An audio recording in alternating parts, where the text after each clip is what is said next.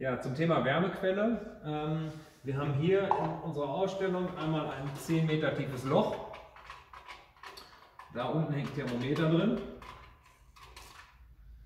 Und das zeigt jetzt hier 12 Grad an. Und es ist relativ egal, ob ich das da im äh, Januar rausziehe oder im August. Wir haben da unten eigentlich immer 12 Grad. Und das ist so ein bisschen das Prinzip der Erdwärme, dass man sich zunutze macht, dass die Temperaturen im Erdreich äh, das ganze Jahr über gleich sind.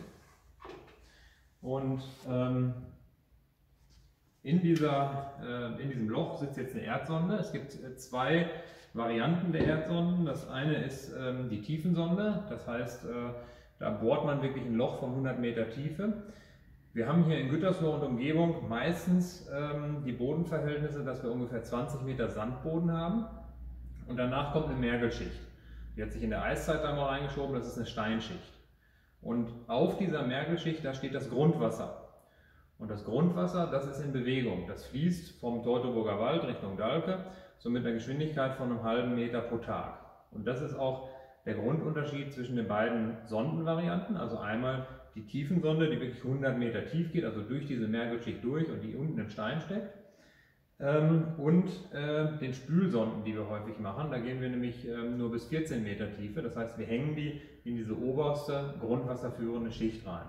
Jetzt kann man sich vorstellen, wir haben eben ähm, gelernt, wie die Wärmepumpe funktioniert. die Sonde sitzt hier drin und dadurch zirkuliert jetzt das Wasser-Glykol-Gemisch.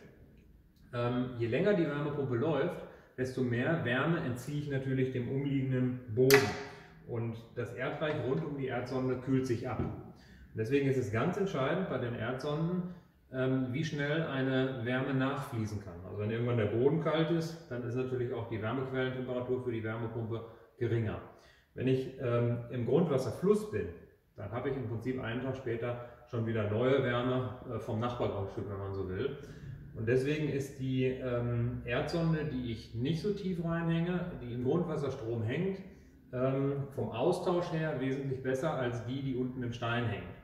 Äh, ich muss natürlich dafür mehrere Erdsonden machen. Das heißt, ich habe nicht einmal 100 äh, Meter, sondern ich habe 12 mal 14 Meter.